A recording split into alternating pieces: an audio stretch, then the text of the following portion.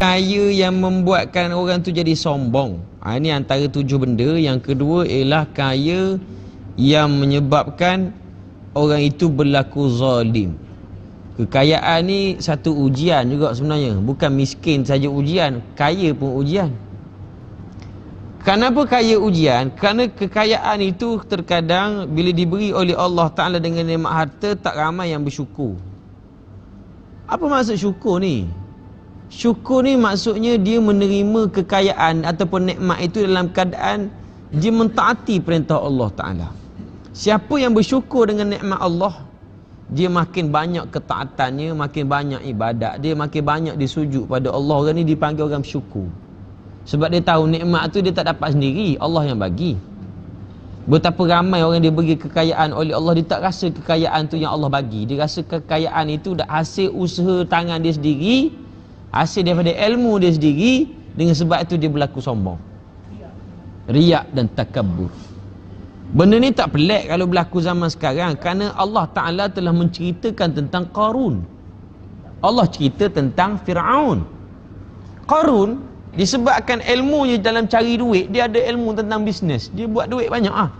Qarun ni banyak harta dia banyak sangat Sehingga Allah tenggel dengan sebab kebina dengan sebab itulah Allah Taala dengan sebab kesombongan itu Allah tenggelamkan Qarun dengan harta-hartanya sekali habis licin.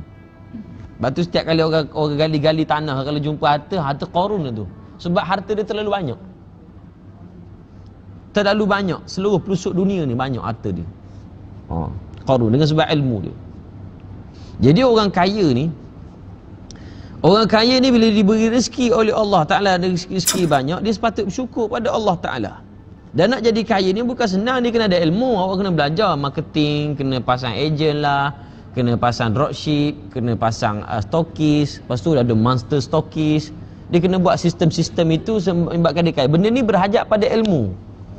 Marketing dia Promotion dia Macam mana dia nak seorang lagu. Sebab tu orang sekarang Dia sanggup buat video bodoh-bodoh. Sebab apa? Dia nak view Setiap view tu dia akan masukkan iklan benda-benda tu.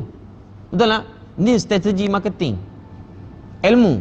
Disebabkan ilmu itulah dia rasa dia ni hebat, akhir sekali tinggal solat, tak semayang. Ada kekayaan tunjuk pada orang. Dia ni kaya. Jadi riak, jadi takabur, jadi ujub, sum'ah. Maka orang inilah yang dimaksudkan oleh Nabi SAW orang kaya yang membuatkan dia sombong. Sombong tu pula kalau sombong dengan manusia saja boleh tahan lagi, tapi sombong pada Allah Taala. Macam mana sombong pada Allah? Lalu saja dengan tepi masjid, singgah tak?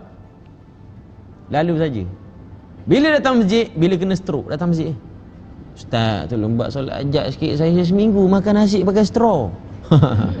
ha, biasa perangai orang kaya. Bukan semualah sebahagian.